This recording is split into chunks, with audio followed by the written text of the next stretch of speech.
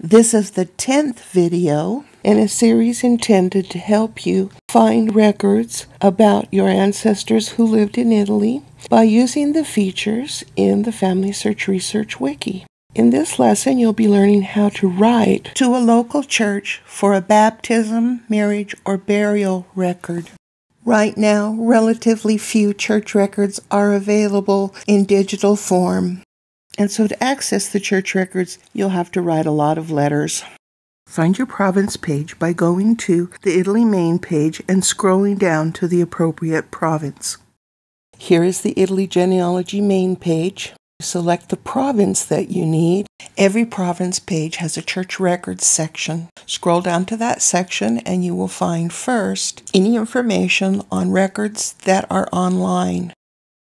Secondly, you can click on this link for the province, find the commune you're interested in, and see whether any church records are available for that commune.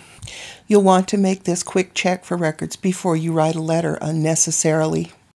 From any Italy province page, in the table of contents, you can go to the section Writing to a Catholic Priest for Church Records. Here you will find the standard address that you would use to send a letter to a church. The letter will still get there if you omit the street address and just use the postal code and the city and the abbreviation for the province. However, you may find an actual address in this Catholic directory. Also, check the Catholic directory to see if the town or city had more than one parish. You might have to send a preliminary letter to each parish. Then you will go to this Italy letter writing guide. There's a lot of introductory material that I suggest that you read, particularly information on how to send money and return postage through the mail. Jumping to this section, How to Write a Letter in Italian, you will find a basic outline. I have copied this outline into a word processor where I will build the letter piece by piece. First, you will want to put the date in Italian.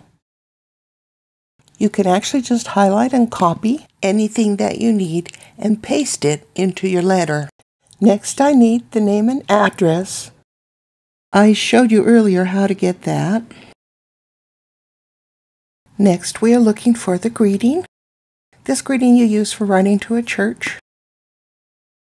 Next, we will write a brief introduction.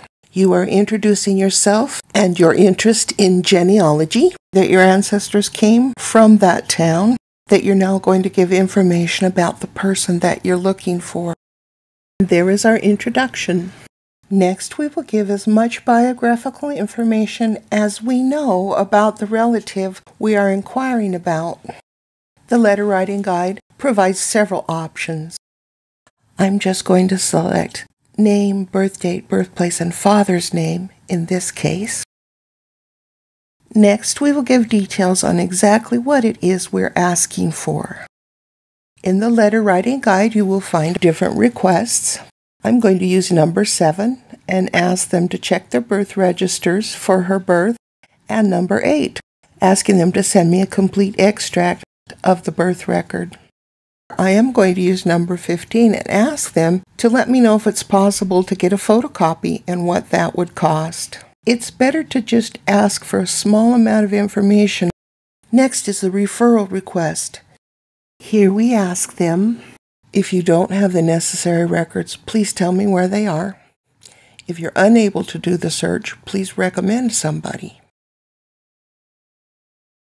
Next, you need to discuss payment. You can either enclose some money the first time or you can ask them to advise you on how they wish to be paid. Finally, we do closing remarks where we thank them in advance and say sincerely, sign it, and give your return address. It will be easy for you, with the help of the Family Research Wiki, to write a letter in Italian to get the records that you need. Now you try it.